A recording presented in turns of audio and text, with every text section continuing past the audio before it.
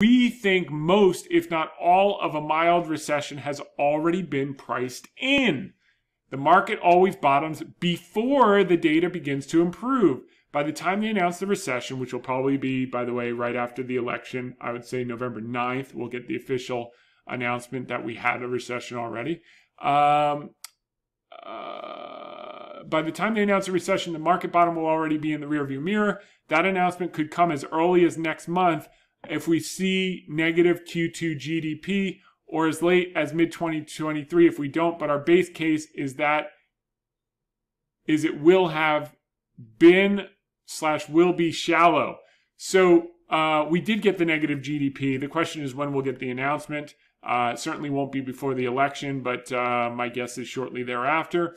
And then the second thing I said on June 16th, which was days away from the bottom, was, quote, while pessimism continues to climb to a new all-time high, so do earnings. One of the two will have to come down soon. My bet is that pessimism will come down more than earnings. And I think that's been the case because the market's up 18% and earnings estimates are down 2%. So, despite the fact that people were calling for earnings to be down 20%.